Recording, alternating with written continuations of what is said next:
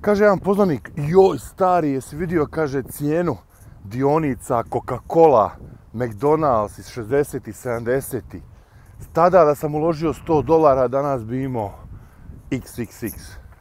Ne ta XXX, nego hiljada XXX. I ono kao, znaš, ono, šta bi bilo da je bilo?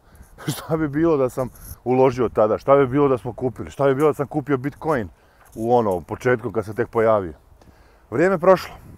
Međutim, danas postoji jedna prilika za investiciju, a ona se odnosi na pozornost koju možemo dobiti od naših potencijalnih kupaca. Dakle, možemo investirati u pozornost danas dok je ona još jako jeftina. Za 1 euro danas na Balkanu možete dobiti otprilike 500, 700, možda čak i 1000 pregleda vaše reklame.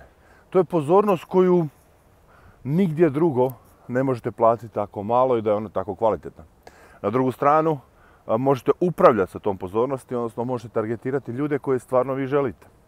Pokazati im reklamu. Za male pare možete se prikazivati potencijalnoj kubici često, da oni stvore naviku da vas prate, da ta navika stvori interes za ono što vi imate i kreirali ste sebi potražnju.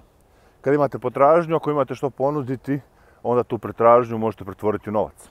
Danas negdje prema našim kalkulacijama za 1 euro koji uložimo na marketing preko Facebooka, Instagrama, LinkedIna nam se vraća 10,5 eura, znači puta 10. Nema te dionice koja u takvom kratkom vremenu može napraviti takav povrat na investiciju. Razmislite